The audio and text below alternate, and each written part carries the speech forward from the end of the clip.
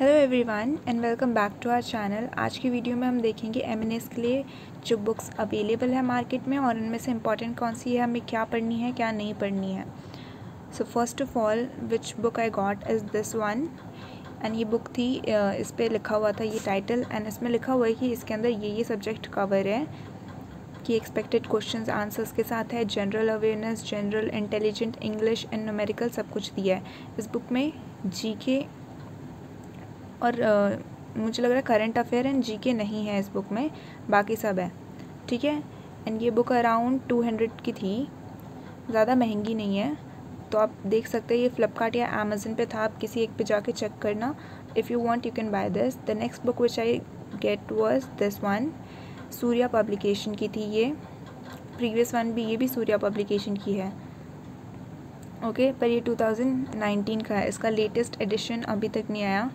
इसमें भी वही चीज़ है इंग्लिश है जनरल अवेयरनेस है, इसमें साइंस भी है और रीजनिंग भी है।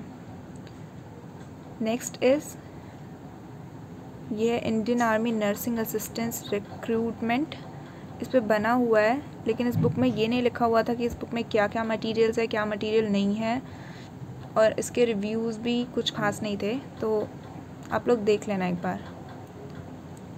एंड दिस वन इसके रिव्यूज़ अच्छे थे एंड इस पर अच्छे से लिखा हुआ था कि ये कंप्यूटर बेस्ड है, जो टेस्ट है उसके हिसाब से है और इधर लिखा है two fifty plus exam pattern multiple choice question और ये लेटेस्ट एडिशन पे। तो ये आप देख सकते हो और ये अरियंत पब्लिकेशन की है। तो अरियंत पब्लिकेशन की बुक्स अच्छी होती है। तो if you are gonna buy अगर ये चार ऑप्शन है, ठीक है? ये चार बुक्स जो हमें मिली, इसमें से I would suggest you to buy this one अगर आपको लेनी है तो ठीक है? सो नेक्स्ट हमें क्या करना है? सबसे पहले तो सिलेबस पता होना चाहिए अच्छे से। पता चला कोई भी बुक उठा के पढ़े जा रहे हो और आपको सिलेबस ही नहीं पता है। सिलेबस पता आना चाहिए कि क्या आ रहा है, क्या नहीं आ रहा। रीजनिंग कैसे आते हैं? वर्बल रीजनिंग आते हैं या पिक्चर वाले रीजनिंग आते हैं? काफ़ी सारे ग्रुप्स मैंने देखा है, या स्टडी चैनल्स पे वो रीजनिंग करवा रहे हैं बट पिक्चर वाली रीजनिंग करवा रहे हैं, जो कि एमएनएस में नहीं आती पिक्चर वाली रीजनिंग्स वर्बल रीजनिंग आती है, वो भी बहुत ईजी आती है। ठीक है? आपको हार्ड वर्क करना है, लेकिन राइट डायरेक्शन में ये नहीं कि कहीं पे भी कुछ भी पढ़े जा रहे हो रेगुलरली पढ़ो make notes and revise this is very important हमने इतना सारा पढ़ लिया, लेकिन रिवाइज नहीं करेंगे तो सब भूल जाएँगे लास्ट तक. ठीक है? साइंस के लिए सिर्फ़ N C R T it's more than enough bio physics chemistry की आप एन टी पढ़ो.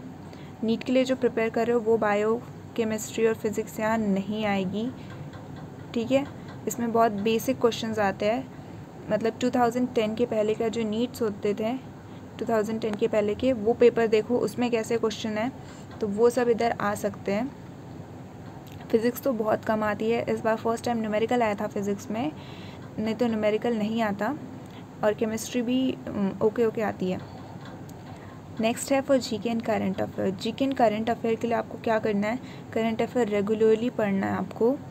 और एक साल के पहले, जैसे मान लो अभी बोल रहे हैं कि एग्ज़ाम जो होने वाला है, वो मार्च में होने वाला है, मार्च ट्वेंटी वन में, ठीक है? तो हमें कहाँ से कहाँ तक का पढ़ना है? मार्च ट्वेंटी ट्वेंटी से लेके मार्च ट्वेंटी ट्वेंटी वन तक का पढ़ना होगा। किसी वेबसाइट पे बोल रहे जनवरी में होगा तो हमें जनवरी से पढ़ना होगा। पिछले एक साल का करेंट अफेयर पढ़ना होगा। स्टैटिक जी के तो आपको आना ही चाहिए। ये तो मस्ट है। करेंट अफेयर के लिए आप देख सकते हो एक साल का, लेकिन स्टैटिक जी के आपको पूरा आना चाहिए। यूट्यूब से बहुत सारे वीडियो अवेलेबल है स्टैटिक जी के लिए और ग्रुप पे डेली क्विज भी होता है हमारे टेलीग्राम ग्रुप पे तो आप उधर भी पार्टिसिपेट कर सकते हो। नेक्स्ट फॉर इंग्लिश कोई भी गुड बुक से पढ़ो जो जिस बुक में अच्छे से प्रैक्टिस पेपर्स दिए हुए हैं ग्रामर के रूल्स एंड वो सब सॉल्व करके दिए हुए हैं, वो पढ़ो वोकेबलरी डेली करो इडियम फ्रेजेस लर्न करो इडियम एंड फ्रेजेस आते हैं और ये बहुत ही इंपॉर्टेंट है। मतलब ये आप पढ़ के दे सकते हो, ठीक है? वोकेबलरी कितनी पढ़ोगे, लेकिन इडियम एंड फ्रेजेस पढ़ोगे तो पक्का उसमें से कुछ ना कुछ मिल जाएगा, ठीक है? इसलिए क्वेश्चन पेपर प्रैक्टिस करना है। डेली क्विज़ लो इंग्लिश का। बहुत सारे वेबसाइट्स हैं जहाँ क्विज़ अवेलेबल है। ये तो ग्रुप पे भी क्विज़ होती है। बहुत सारी टेलीग्राम ग्रुप पे क्विज़ होती है और वेबसाइट्स भी है जहाँ वो है। आपको जहाँ से अच्छा लगे वहाँ से डेली क्विज़ लो। और सिनोनिम एंटनम्स वोकेबलरी के साथ जब करोगे तो ये साथ में करना है, ठीक है? एक वर्ड पढ़ा, उसका हमने देखा उस वर्ड का यूजेज कैसा है।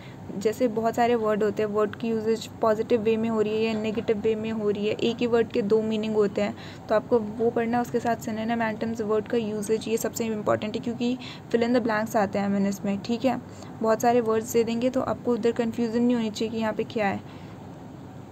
फिल इन द ब्लैंक्स आते हैं ऑड वन आउट ये सब आते हैं। इंग्लिश के पोर्शन में ही आता है वो। ठीक है? तो ये सब देख के करना है।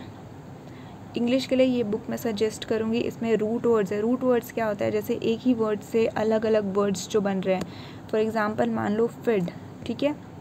एफ़ आई डी फिड ये वर्ड हो गया।